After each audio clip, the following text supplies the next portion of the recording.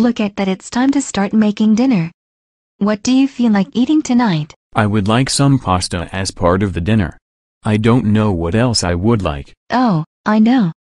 I'll make breaded chicken, fettuccine with alfredo sauce and a side of vegetables. That sounds delicious D'Alice.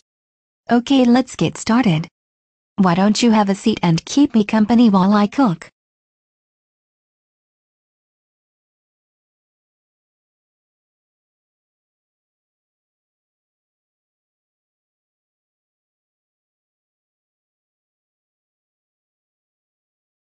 Oh, I should turn on the stove top and the oven to preheat. Do you remember where I put the pasta? I think you put it above the stove. Thanks.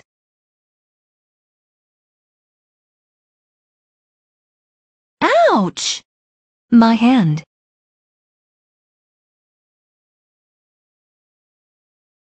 Are you okay? No. I burned my hand. How did you do that? Why would you put your hand on the element? It's not like I meant to. We should probably turn this off.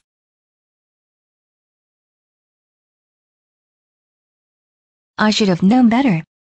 Especially since we have been talking about energy transfer in science class. I'll have to share this with my students tomorrow. What's energy transfer?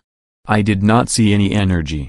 Other than you running to the sink. On the contrary, energy transfer is when energy is transferred from a substance with greater energy to a substance with lower energy. I still don't get it. There was no electricity to zap or anything. All you did was put your hand on the element. Exactly. I placed my warm hand on the hot element. So in my case, there was heat energy being transferred from the hot element with a higher temperature and greater kinetic energy to my hand with a lower temperature and lower kinetic energy. So, what is that called? Specifically it is called conduction. It's what we refer to as a transfer of heat that occurs between two solid objects, the stove element and my hand, by direct contact. Now, typically you would rather have the stove element transfer heat to the pot than your own hand. How's your hand?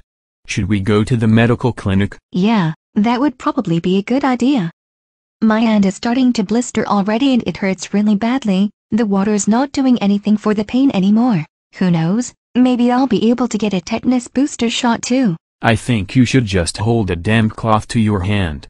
I'll drive. Just wait until we get back and start cooking dinner again.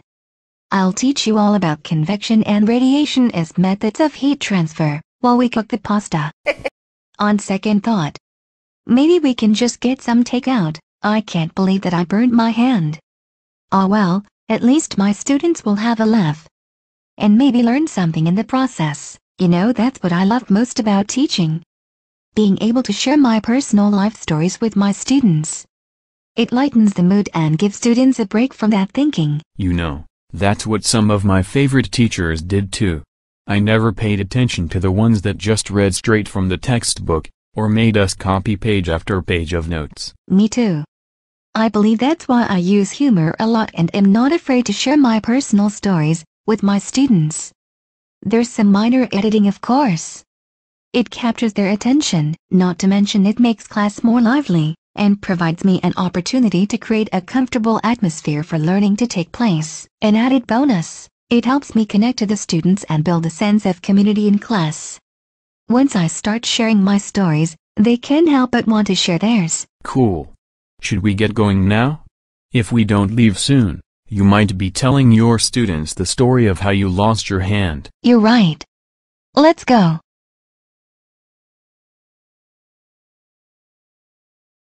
Whether it was about conduction and heat energy, or how to avoid putting your hand on an element, I hope you have learned something today. And yes, this story was based my own personal experience. While trying to reach the pasta I put my hand down on a liter element and wound up with second degree burns and a tetanus shot.